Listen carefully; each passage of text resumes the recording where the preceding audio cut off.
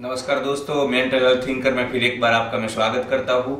और अब हम बात करने वाले हैं श्रीमद् भगवत गीता के बारे में। जी हाँ दोस्तों, ये बुक को आप देख रहे हैं। ये बुक श्रीमद् भगवत गीता है, जो कि पाँच हज़ार साल पहले भगवान श्री कृष्ण ने अर्जुन को जब वो युद्ध के मैदान में अपने स्वजन को देख करके ये बोलता है कि मैं युद्ध नहीं करूँगा, तब उसको वो डिप्रेशन की स्थिति से बाहर निकालने के लिए भगवान उसके साथ जो 700 श्लोकों में जो बात करते हैं, उसको श्रीमद् भगवत गीता के नाम से हम जानते हैं।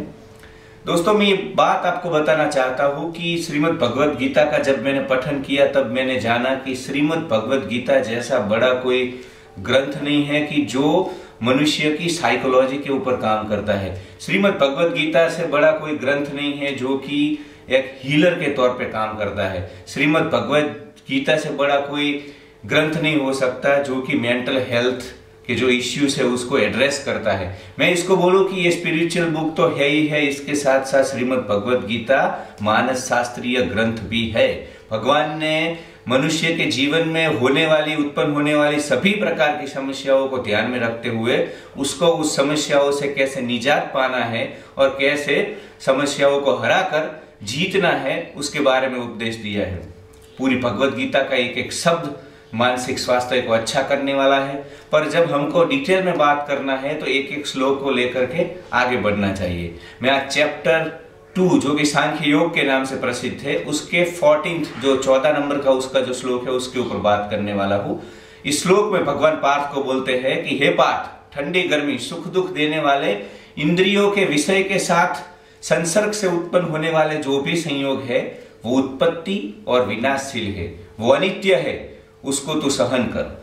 भगवान का कहने का तात्पर्य है कि तुम्हारे जीवन में जो भी सुख दुख आ रहा है, जो भी बुरे इंसिडेंट हो रहे हैं या अच्छे इंसिडेंट हो रहे हैं, ये सब असत है। असत मतलब ये ठहरने वाले नहीं हैं, ये समय बदलने वाला है। हम सबका अनुभव है कि हमारे जीवन में कोई भी ऐसी घटना या ऐसी, ऐसे सरकमटेंसेस आए जिस, जिसने कि हमको अंदर से चकचोड़ के रख दिया, पर हमने देखा है कि समय एक बड़ा घाव, एक बड़ा मरहम होता है। बड़े से बड़े घाव को भी समय एक मरहम के तौर पे भर देता है। भगवान इस श्लोक के द्वारा हमको बोल रहे हैं कि जो भी तेरे जीवन में मुसीबत आई है या जो भी अभी जो संजोग निर्माण हुए हैं तो उसको सहन करो। वो बदल जाएँगे। और हमने सबने अनुभव भी किया है कि हमेशा परिस्थितियाँ एक जैसी नहीं रहती है।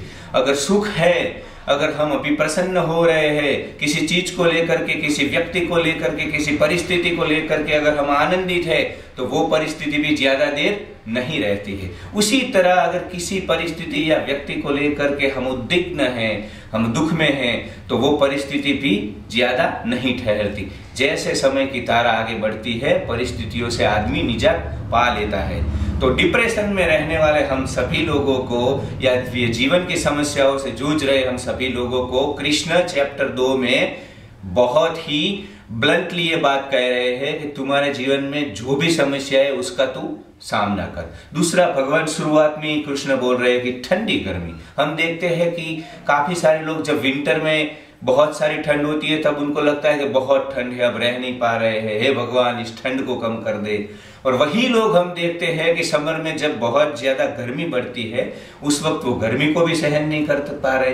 भगवान बोल रहे हैं कि जिस तरह ठंडी के बाद गर्मी और गर्मी के बाद ठंडी आती है वातावरण में, उसी प्रकार सुख के बाद दुख का आना काफ़ी बार माया के आवरण के कारण अनिवार्य होता है, पर हमको इससे हारना नहीं है। भारत में सबसे ज़्यादा सुसाइड हो रहे हैं, यूथ सुसाइड कर रहा है भारत का।